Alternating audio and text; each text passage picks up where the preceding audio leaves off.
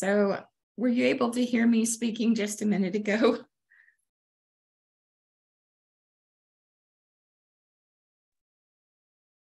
Good morning, Mirah. I can hear you. Okay, so um, I can see that we're still admitting a few people while we're uh, uh, while I'm speaking here. It is time for us to begin, and so I want us to get started on time, if at all possible. I uh, I'm delighted to see this nice group of people who already gathered. I'm wondering if Dean Jeong can hear my voice, if he would like to say hello before we get started.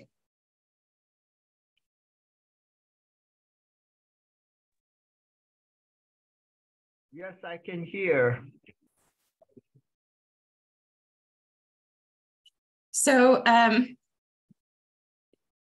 I I uh, will I will officially welcome us here um, and uh, get us started. Then, um, if if I may, I uh, am very honored to be uh, participating as I am today in talking to you about this very important topic of book challenges and censorship.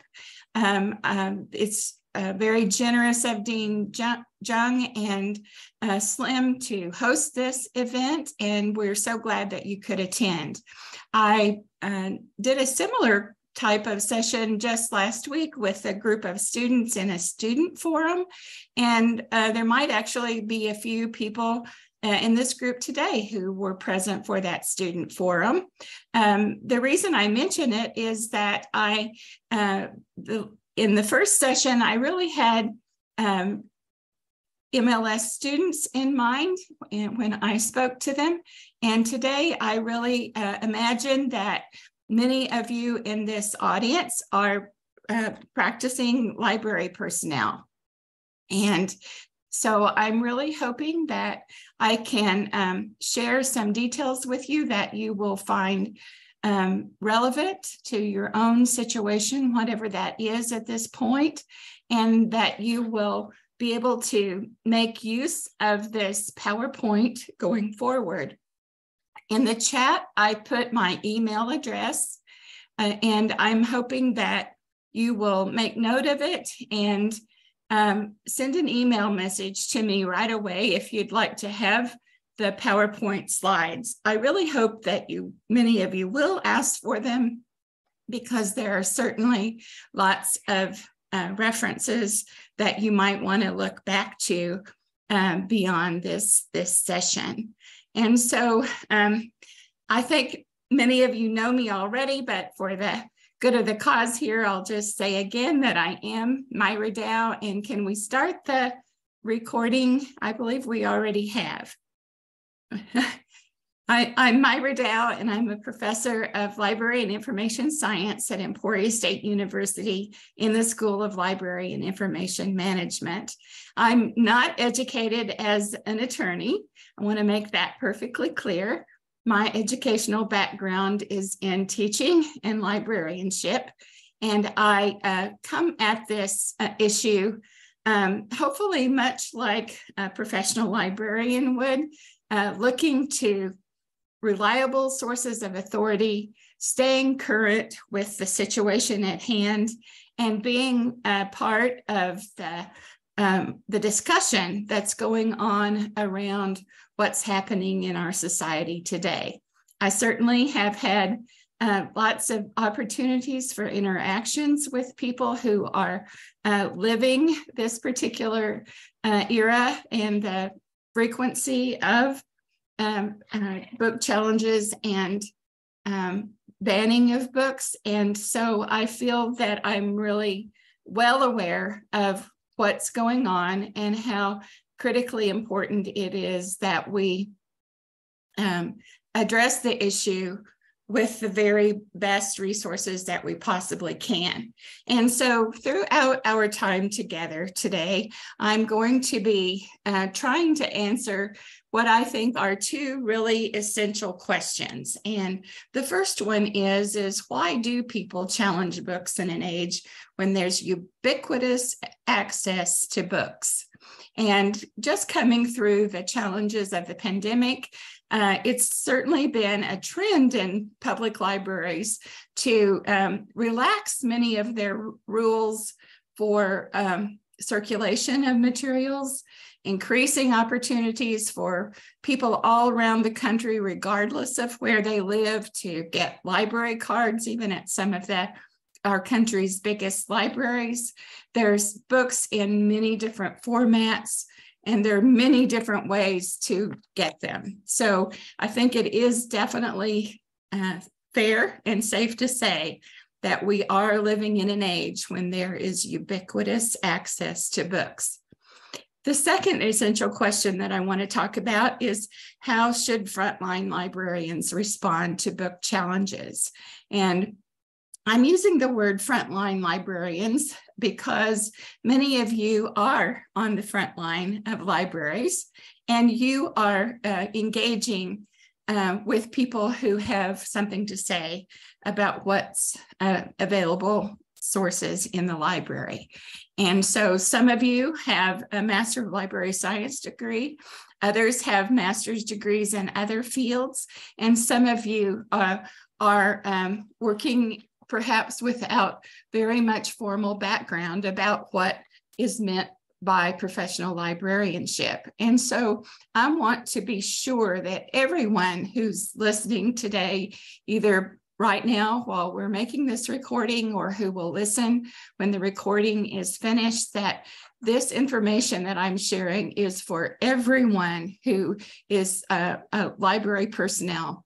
And and I'm doing my very best to um, to talk to you about it in a way that will hopefully um, make some sense and be useful going forward.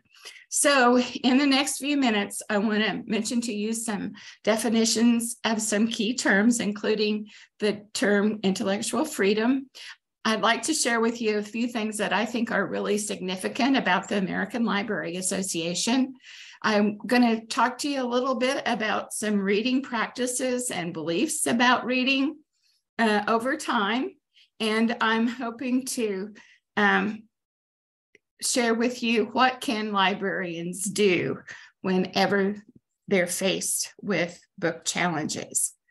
So again, throughout this PowerPoint, there are a number of resources uh, highlighted with the with uh, the access details so that you can get back to the sources. There were some even on that first page there at the bottom that I just mentioned. And I'm pointing that out because I want you to know that I haven't just pulled these details out of thin air and that when I said that I've really been interacting with people that are engaged around this topic, I want you to see plenty of evidence that that's the case. According to the American Library Association, efforts to ban books has increased dramatically in the uh, in the last year in 19 in 2021. And what we know about that, because the American Library Association does keep track of these sorts of details, is that um,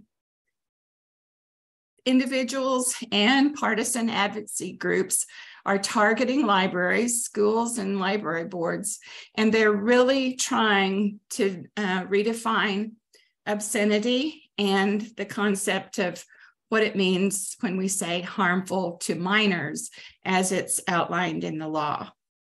So these are, uh, this is what we're seeing. And we also know from the records that are kept that the issues typically have to do with gender, sexuality, race, ethnicity, and then many other human differences are being targeted, including um, issues pertaining to immigrants, for example. It's very clear already this year that the efforts this year will surpass that high number of efforts that we saw in the past year. So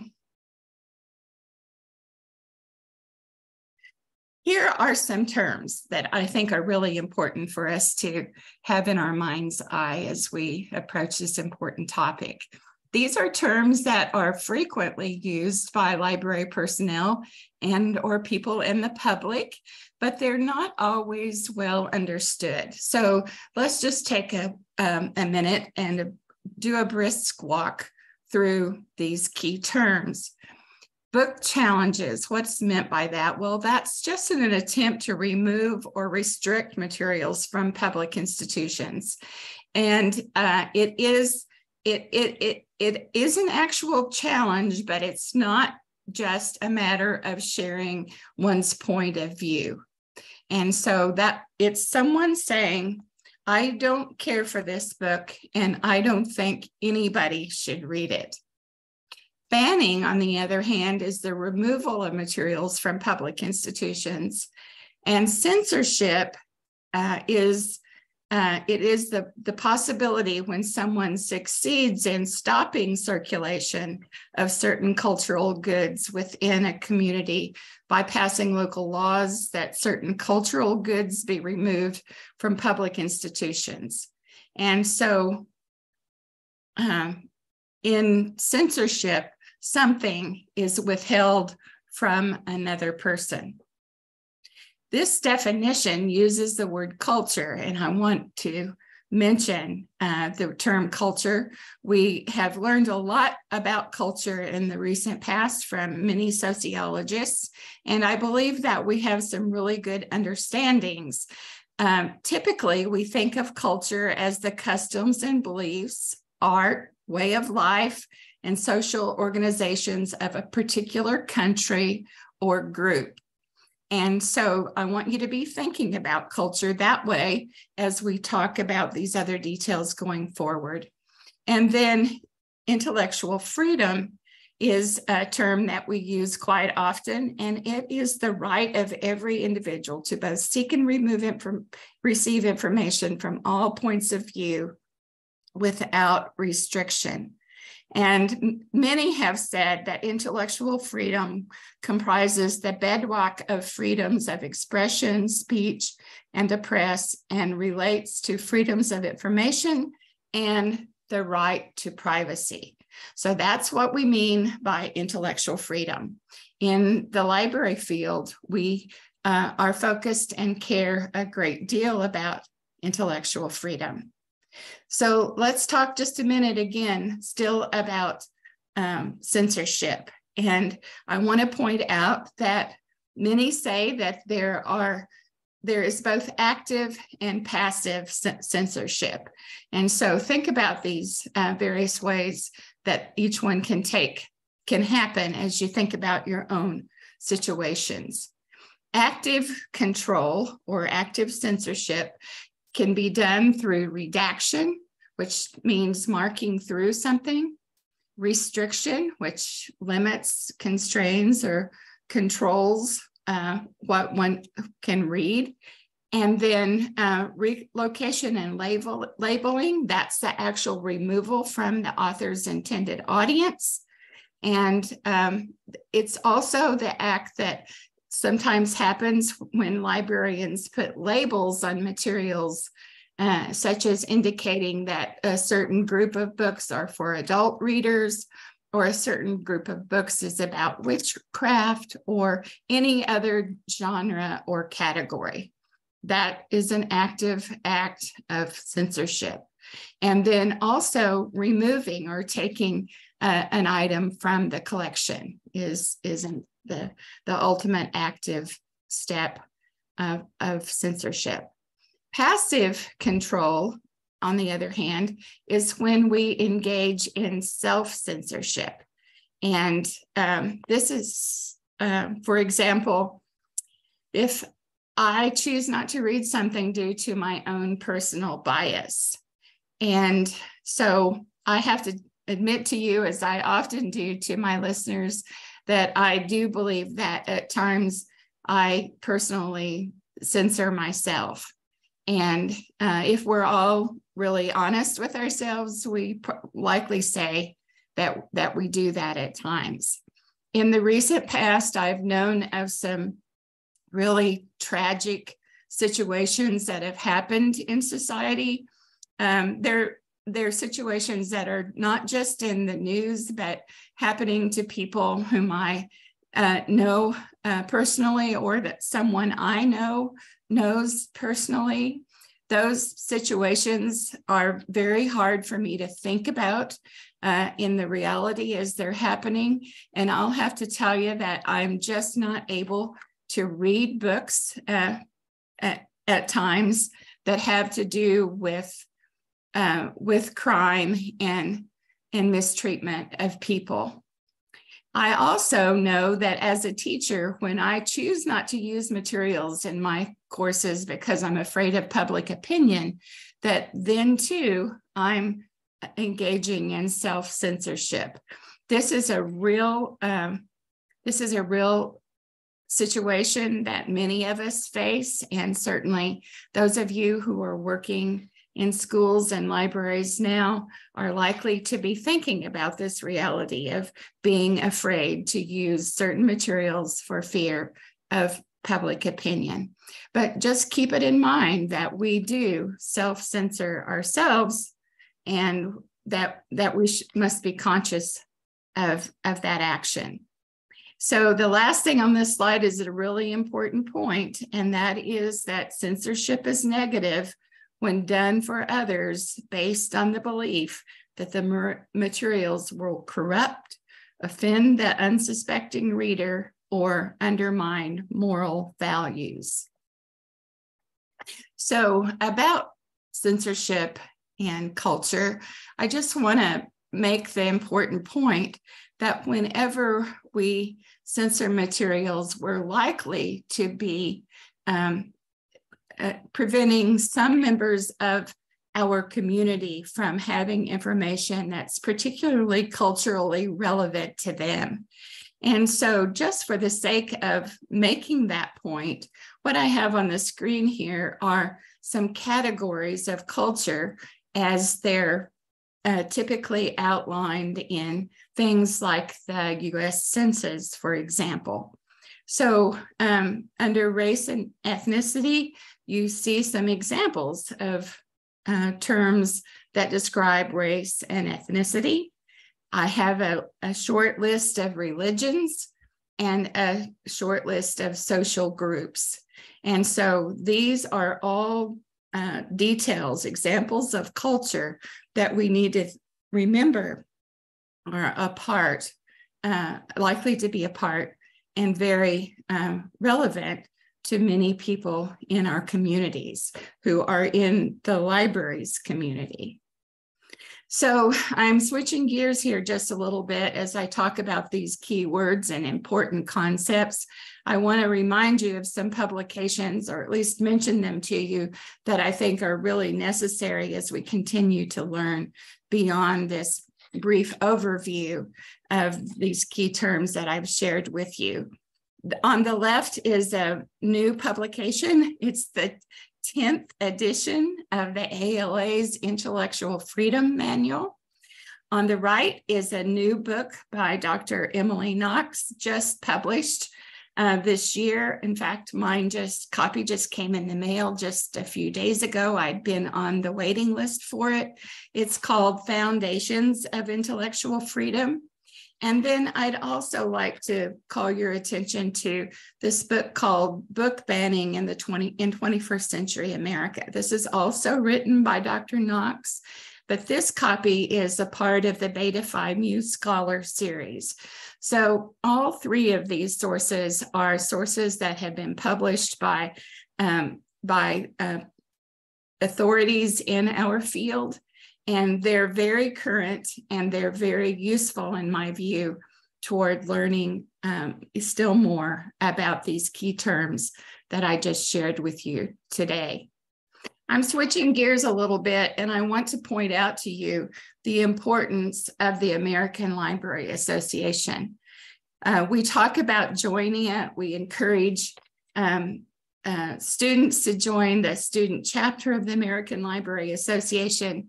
We promote the materials from the American Library Association. We encourage people to attend conferences and, and sessions scheduled by the American Library Association. And that's because the American Library Association is the large uh, organization that supports the profession of librarianship.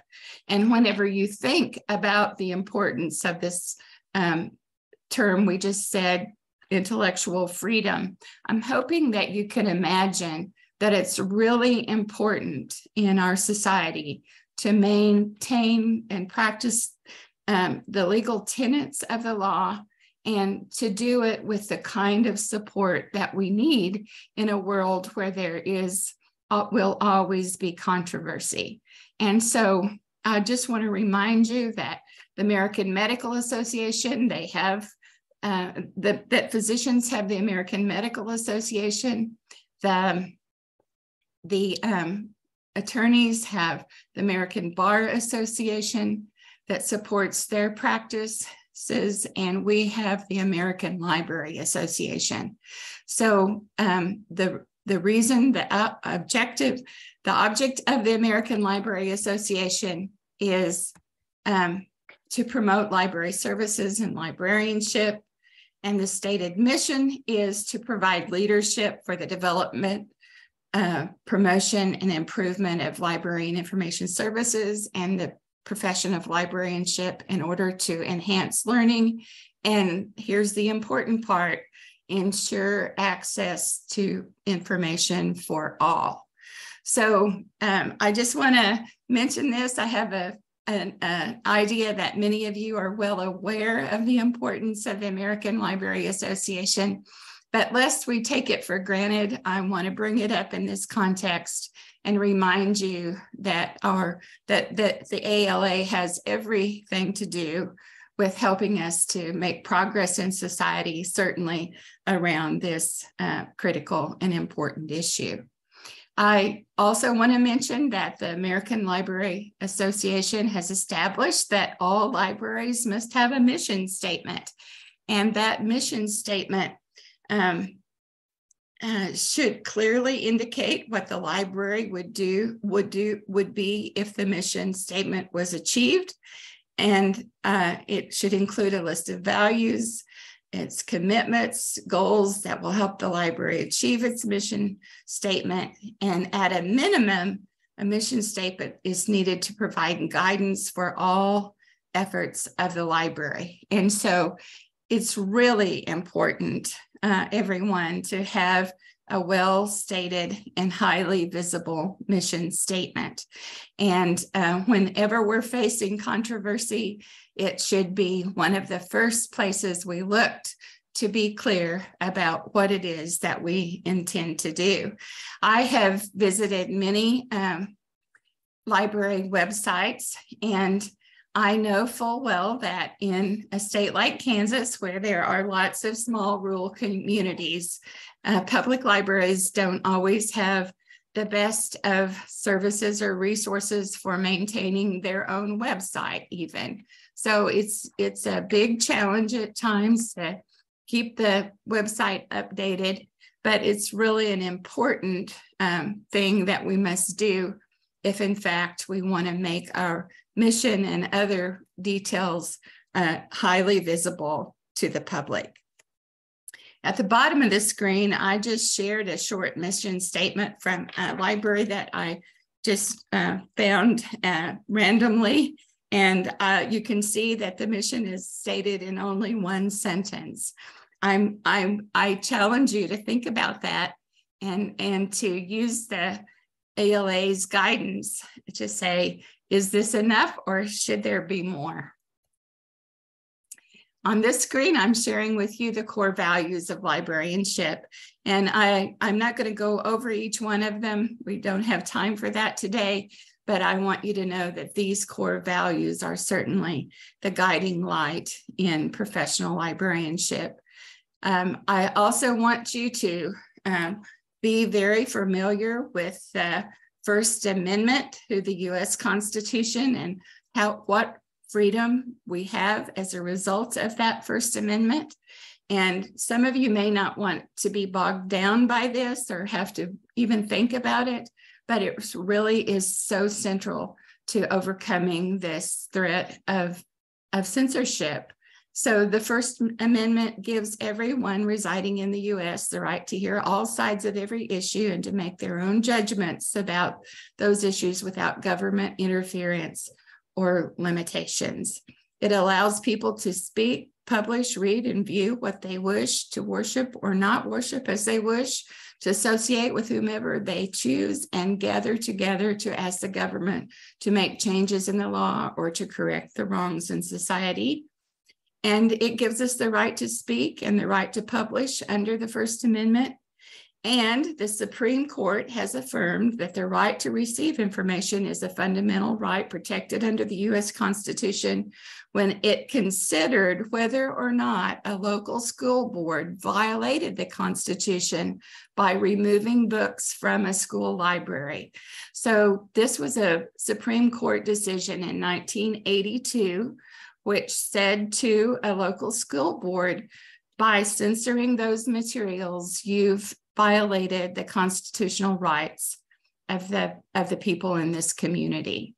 So, uh, folks, I want to remind you that this Supreme Court decision is still on the books, and while a lot of people would like to redefine it, it hasn't been done, and it will take a great uh, deal of effort, I'm pretty sure, to make that happen. I also want to point out to you that there are a number of freedoms of speech that are protected and some that are not protected. So it's not an everything goes kind of a situation. And we've just talked about um, uh, the freedoms. And I also want to mention uh, what isn't is not protected speech. And while there are some um, scholarly differences about these particular categories, these are the main categories of unprotected speech. And they are obscenity, fighting words, defamation, child pornography, um, perjury, blackmail, incitement of imminent lawless action, true threats and solicitations to commit crimes, and also plagiarism or copyright material is uh, is uh, not protected. Plagiarism of copyrighted material. I'm sorry, I misspoke there. So keep those things in mind as you're uh, remembering what's meant by intellectual freedom as is supported by the US Constitution and the First Amendment.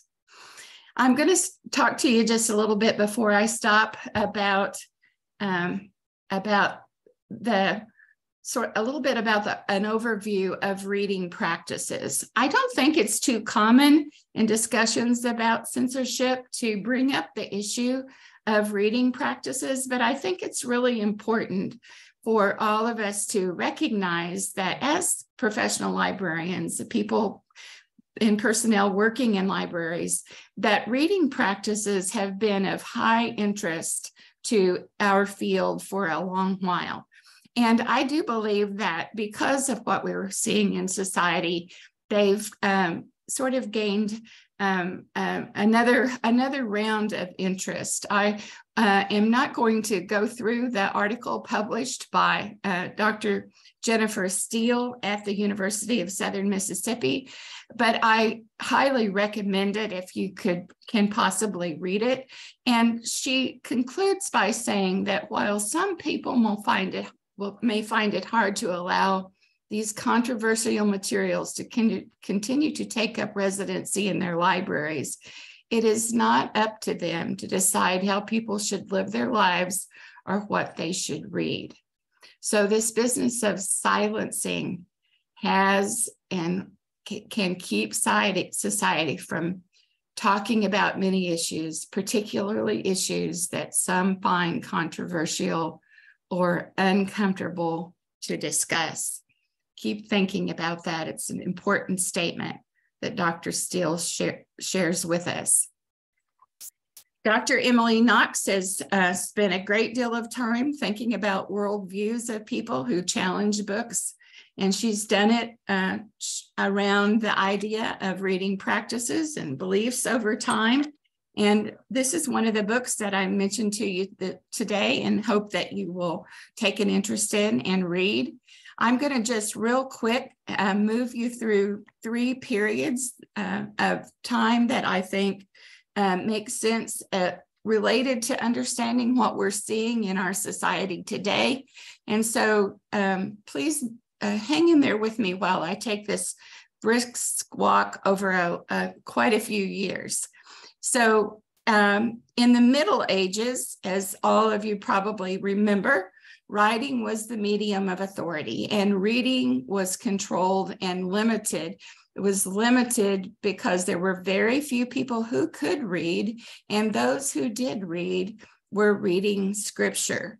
And reading practices were typically silent reading, where, whereas one's thoughts and interpretation was private, so others didn't know what the reader was reading or thinking.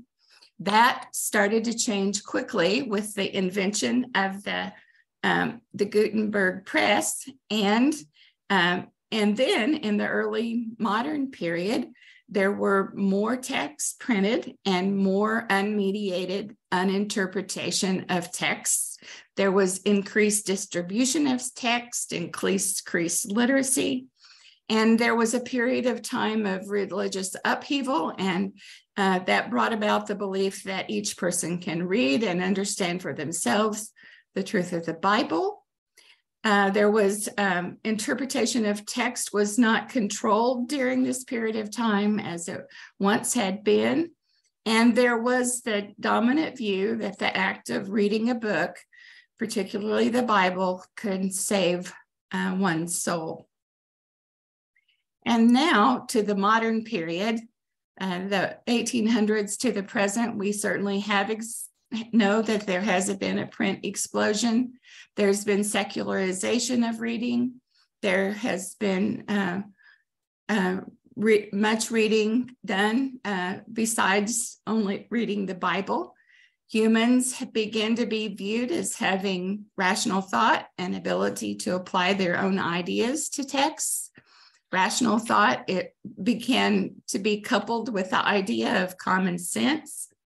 And there has been the view that rational people can control their imagination and maintain distance from the effects of common sense reading, while others, particularly children, are not intellectually capable or developmentally able to do that. And then um, the, there's there became the idea of undisciplined imagination. Uh, it became view, viewed as a potential problem. And the problem is that many think that if my child reads a certain thing, then they will become that certain thing.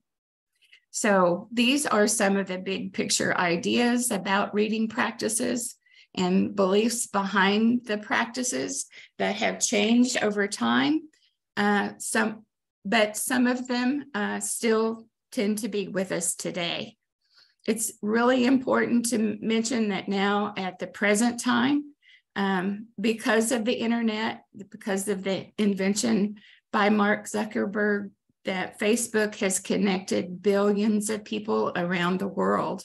And I think that many of us thought, myself included, that while neutral social media could be a democratizing force in society.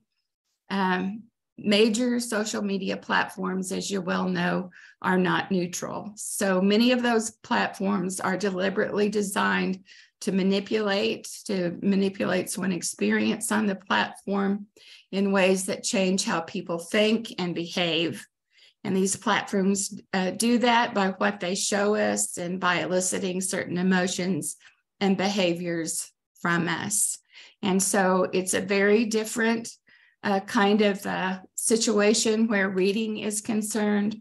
There are lots of people, as you know, doing reading on the internet and never questioning uh, the source of authority. So, what can what can uh, librarians do uh, in response to challenges? Well, here here here's the bottom line. I think Libraries as public institutions, we ensure access. We, we're not defenders of content. Libraries must have time, place, and manner rules that follow, follow government laws.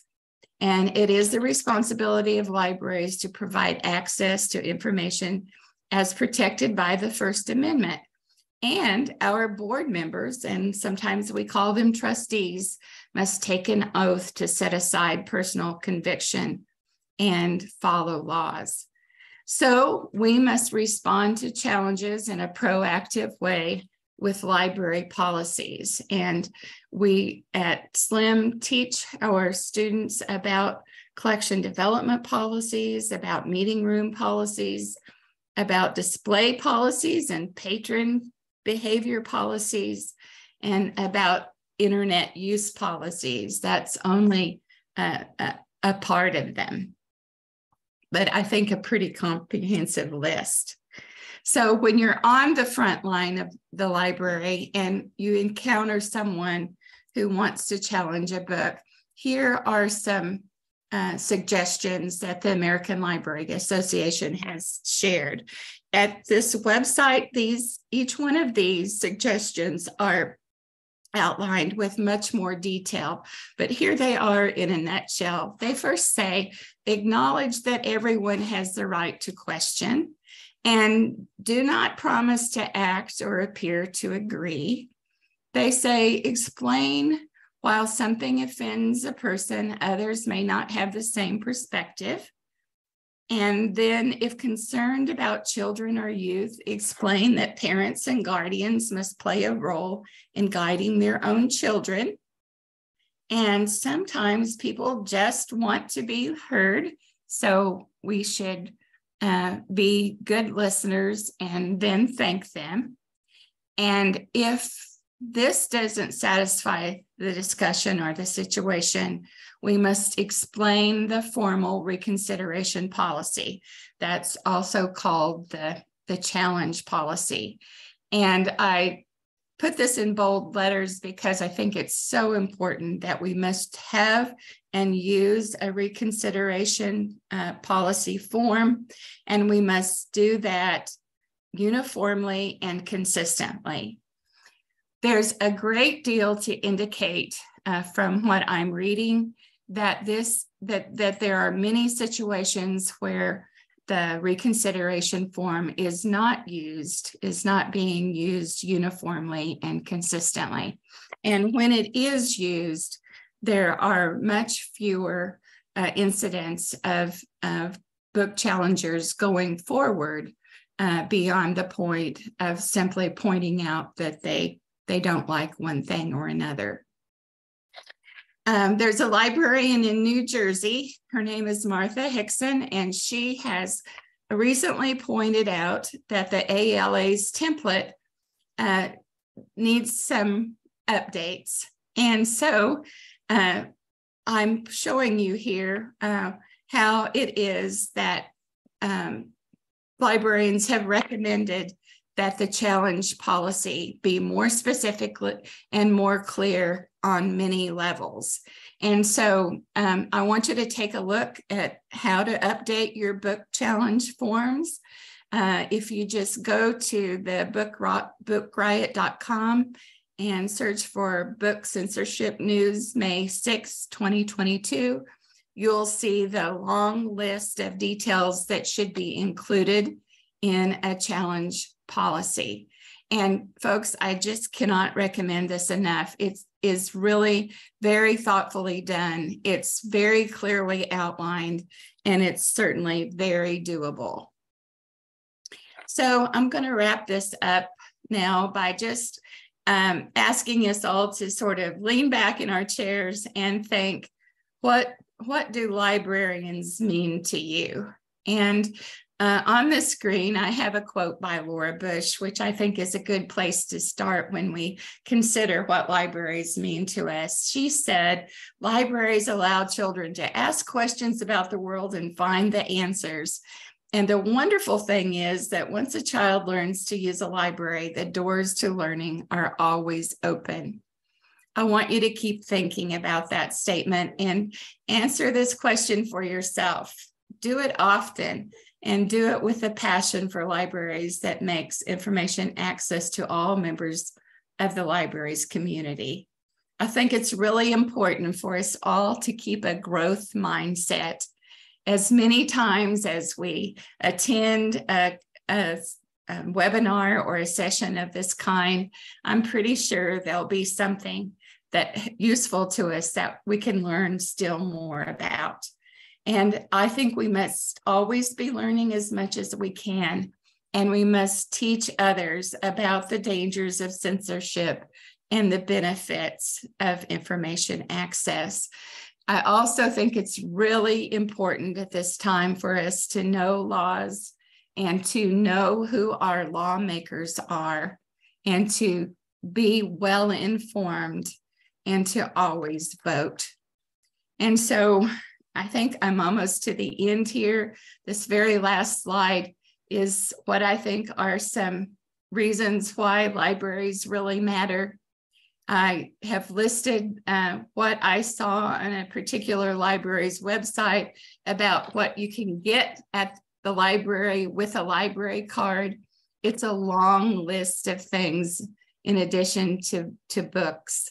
I also just um, um, sort of serendipitously happened upon a lovely um,